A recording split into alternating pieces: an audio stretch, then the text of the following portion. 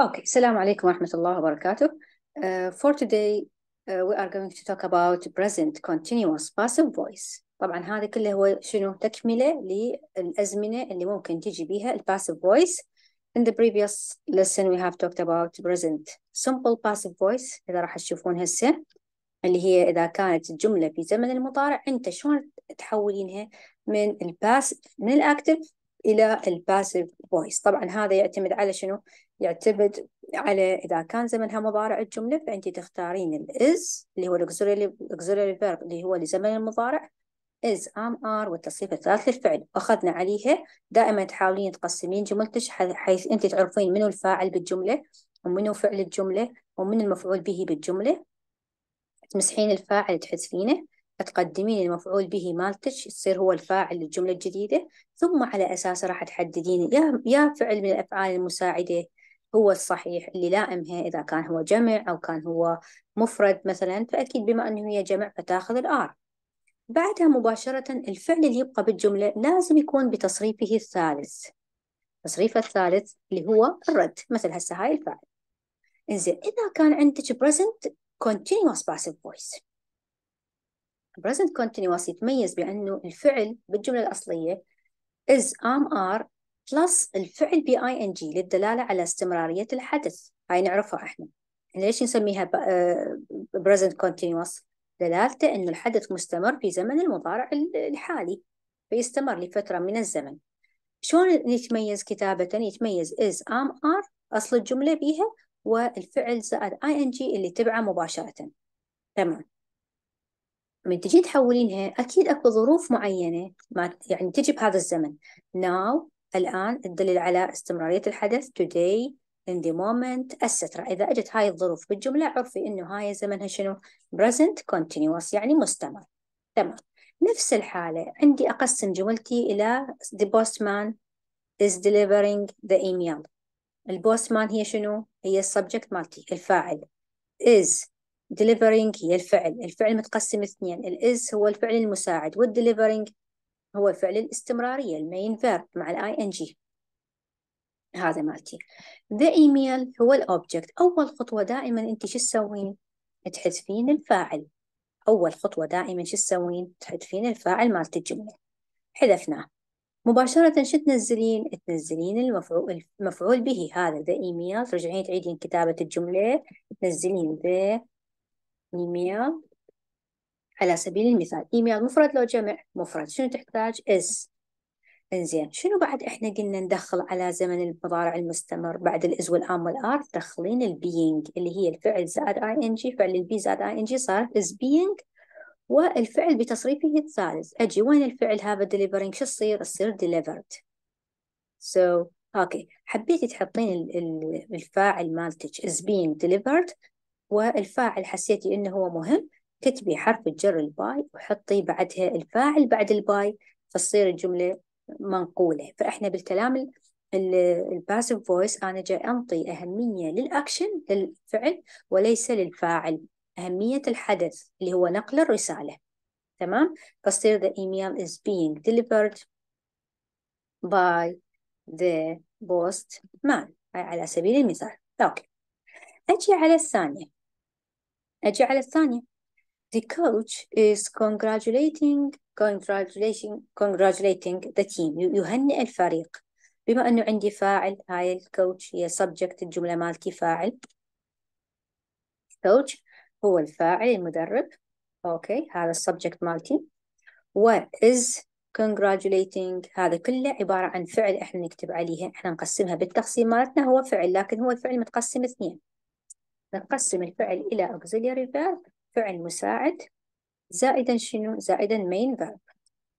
فعل مساعد زائدا ال main verb مالتي. تمام. بعدها شنو عندك؟ عندك the team. شنو هي؟ هاي المفعول به. كلمة the team هو المفعول به. شنو الهدف هسه هنا؟ شو نسوي إحنا؟ لازم نحذف الفاعل.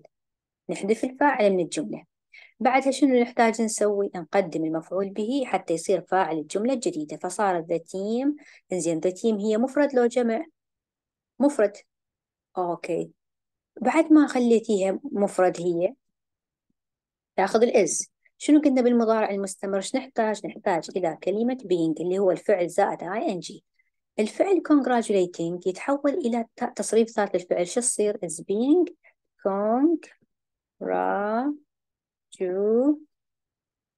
congratulated is being هنئ the team is being congratulated. أقدر أحط نقطة أقدر أنهيها. صارت صحيحة. حبيتي تنطين أهمية لل coach. تقولين by the coach etc okay هاجي أرتب لك إياها أرجعها مثل ما هي حتى تشوفين شنو إحنا سوينا. تمام. okay زين نجي هسه وين وصلنا؟ نجي على man is measuring the room. متقسمة the man الفاعل. Is measuring فعل وفعل رئيسي. فعل يعني مساعد وفعل رئيسي. وهو بها ing the room. فوين المفعول به the room تتقدم تصير فاعل الجملة الجديدة. The room مفرد لو جمع مفرد. إذا تحتاج إلى is فعل ال being. Be زائد ing being. والmeasuring شو تتحول إلى measured قيست. حبيتي تحطين للفاعل أهمية تحطين حرف الجر الباي وتنزلين الفاعل the man A lot of new flats are being built at the moment. Are being built هي صيغة ال present continuous هاي مختصر مالتها present continuous passive voice. okay؟ بالنسبة للماضي إحنا أخذناه سابقا يعني إنه أنا من شلون أعرفه هذا زمن ماضي؟ من فعل الفعل مالتي هسه مثل I washed والفعل أما regular أو irregular. okay هاي إحنا أول فقرة عرفناها. ومن الظروف اللي موجودة بزمن الجملة هاي الظروف أيضا هي اللي تدلل على ال past simple tense مالتي. تمام. من حولناها إحنا أيضا نحذف الفاعل ونقدم المفعول به ونحط له الفعل الملائم مالته إما ال was أو ال were فهي مفرد فهي تأخذ ال was الفعل ينزل بتصريفه الثالث was washed وأنزل الظرف مالتي yesterday. حبيتي تحطين by وراها الفاعل عادي ما حبيتي تحطينها فهي صحيحة. تمام؟ بس أنا أفضل تحطونه صراحة. أنا أفضل تحطينه حتى تعطين أهمية أيضا للفاعل. بالرغم أنه هي ال passive voice أصلا يركز على أنه حدث الفعل هو المهم وليس الفاعل هو المهم. تمام؟ okay. This story was written by the girl uh, at my school. هذه بالساعة شرحناها. الهدف من هذا شنو؟ أنه أكو عندي past continuous. أعتقد عندكم من ضمن الفقرات past continuous passive voice. ال past continuous passive voice مثل ما تعرفين ال present continuous هي الفعل يعني أصل الجملة كان بيها ال is am are والفعل زائد ing. ال past continuous لا الجملة آه، دلل على حدث استمر في زمن الماضي مع حدث ماضي آخر يعني. okay؟ So uh, نعبر عنه من خلال ال was وال were والفعل بها ing like he was delivering the letter أو the letters.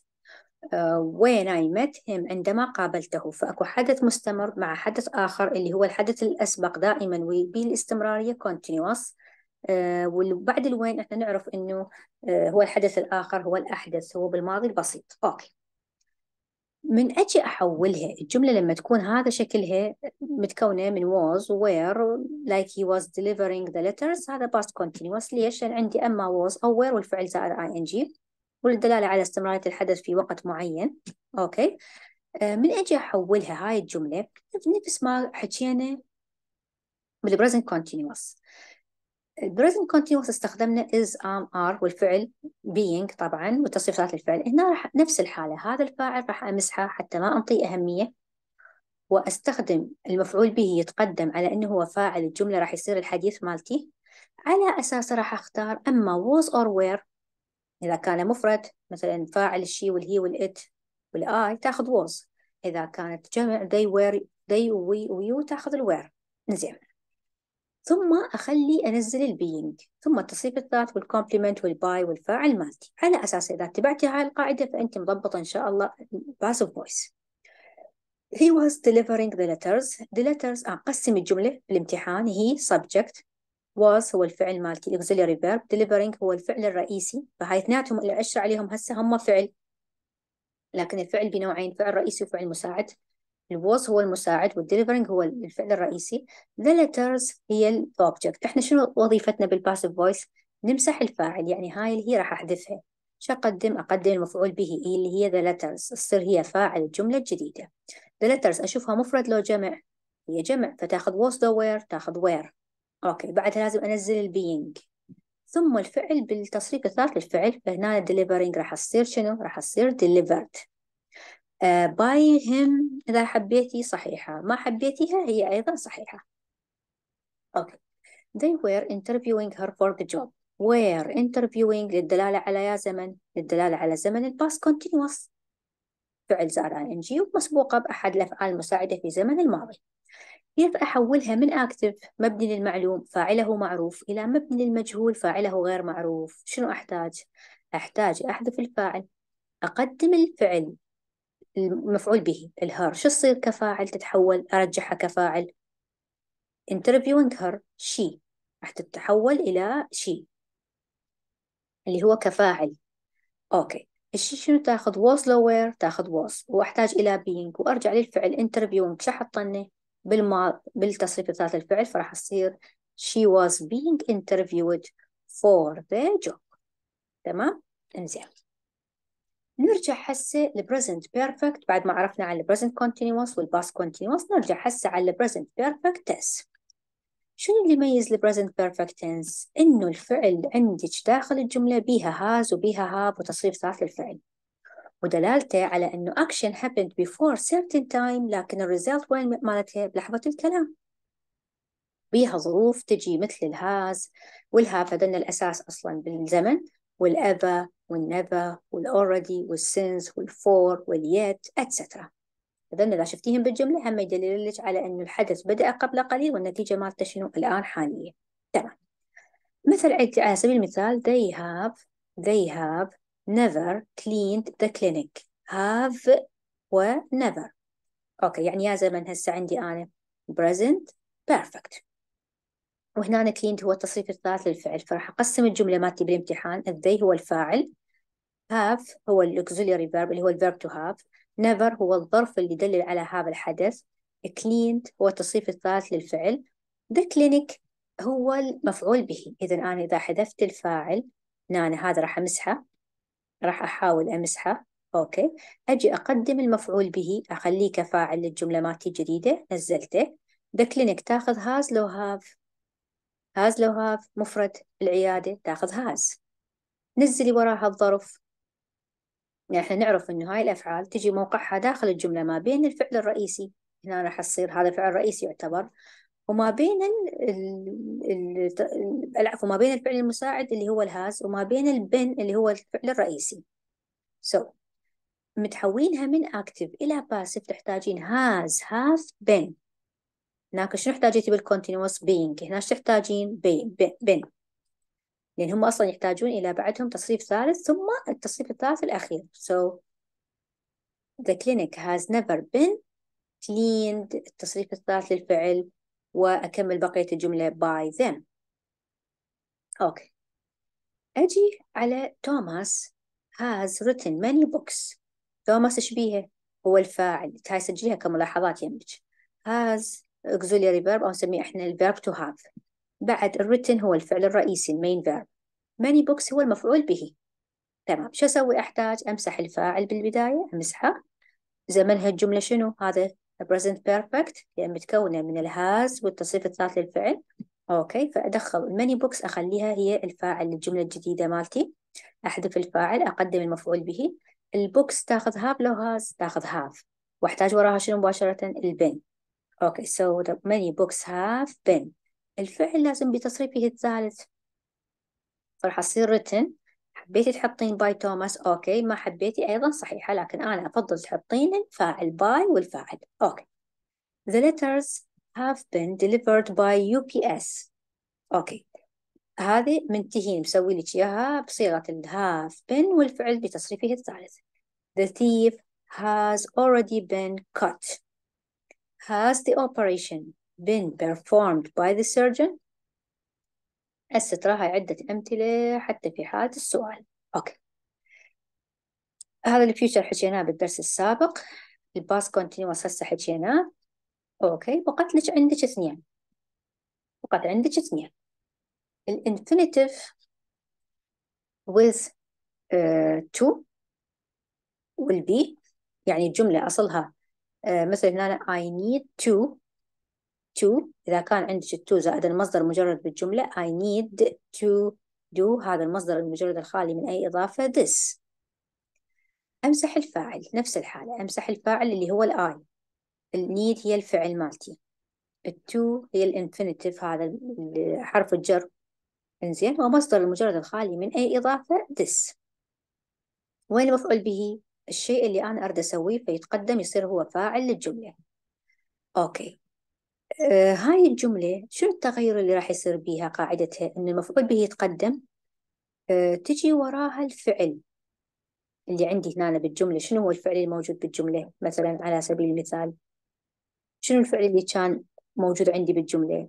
need. أنزله نفس ما هو. This need ثم ال to وال be وال do شو تصير؟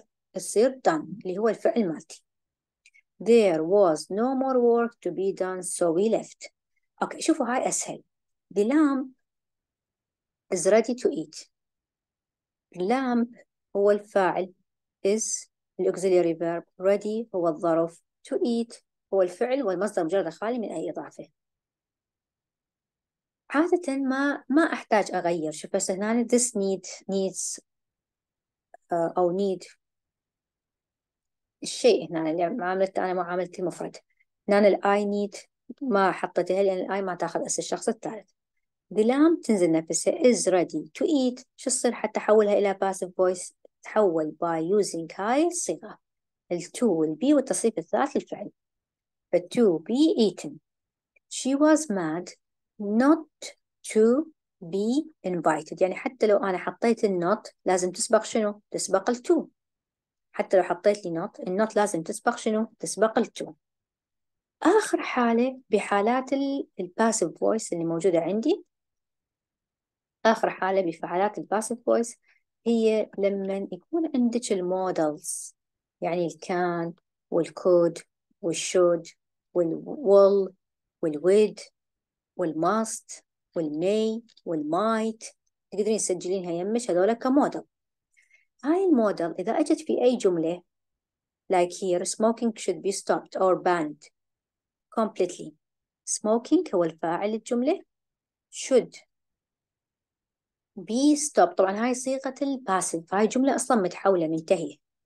لأن شو تقول يقول لك إذا كان عندك أنت uh, modal يعني مثل الشود والكان والكود والماست والمي والماي درسناها خير من الله. إذا كانت عندك اتبعها بال be والتصريف الثالث للفعل حتى تحولها من active إلى passive ال modal بعدها ال be والتصريف الثالث للفعل. So like for example you subject. Must هو ال modal. Finish هو الفعل المجرد الخالي من أي إضافة. This today هو المفعول به. أحذف الفاعل. اللي هو ال you أقدم uh, this. يعني هو الشيء اللي أنا جاي أحكي عنه اللي, اللي هو الشيء الذي must be finished. يعني شنو هو الشيء اللي جاي أنا أنهي العمل كنت أديه فهذا المفعول به راح يتقدم this. وراها uh, ال modal. طبعا هاي راح تكون معناتها هنا؟ نفس الحالة. ثبتيها يمك ضيفي لها إنه هو أكو object بالجملة متبوع ب modal. ال object راح يصير هو الفاعل المتقدم للجملة مالتي ال object راح يصير نفس القاعدة هو الفاعل الجديد. بعدها ال modal وال be والتصريف ذات الفعل وال complement أيضا ضيفيها بالملاحظات. زين. شو راح يصير عندي هسه الجملة؟ راح يصير عندي this الشيء اللي جاي نتحدث عنه ال modal verb اللي هو ال must نفسه أجيبه من جملتي.